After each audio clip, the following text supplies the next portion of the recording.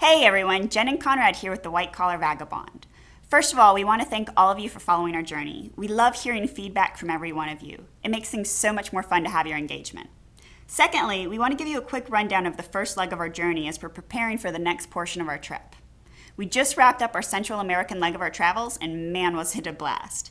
As you know, we drove over 4,000 miles all the way from Atlanta, Georgia, through Mexico, Guatemala, El Salvador, Honduras, Nicaragua, and finally completed our Central American journey in Costa Rica. All in all, it was a fantastic experience. Sometimes a little unnerving, but overall, well worth the experience. So, here are a few things that we've learned from our Central American journey. Okay, here's our top list. Number one, we are thrilled that we did not wait for retirement to enjoy our lives. There are too many amazing places to visit and not enough time, so embarking on this journey has been very rewarding for us. Number two, in Latin America, anything is possible, for the right price, that is.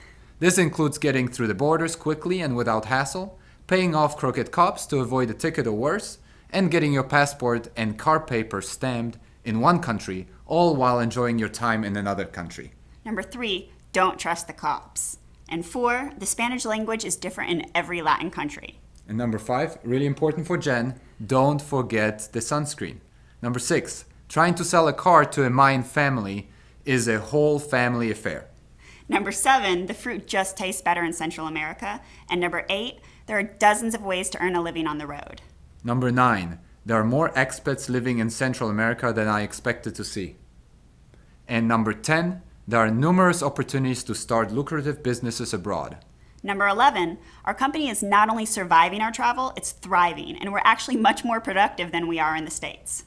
Number 12, Central America has many different words for speed bumps, as Eskimos have for the word snow. And unfortunately, we know this all too well. Yeah, with a flat tire in Mexico. Anyway, uh, number 13, you can in fact become a morning person even if you never have been one, especially when the sun rises by 5 a.m. every day. Number 14, not only does a chicken bus provide cheap form of uh, transportation, it also provides amazing entertainment. number 15, a snake is a snake is a snake until it's a viper. And number 16, all insects are supersized in Central America. Number 17, some people like to astral travel. Number 18, there are phenomenal opportunities to invest in beautiful properties. Number 19, you can get a two hour massage for only $40. Yes, I said a two hour massage for $40. And number 20, all Americans are rich, or at least that's what the perception is. Number 21. It is much more pleasant to wake up to a rooster than it is to wake up to a blaring alarm clock, even when the rooster starts crowing at 4 a.m.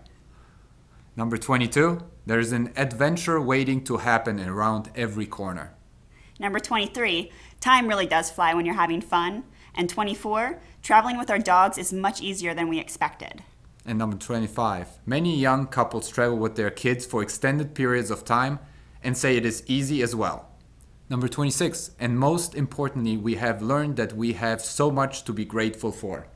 We hope you've enjoyed being a part of our adventure so far, and we look forward to sharing our journey with you going forward.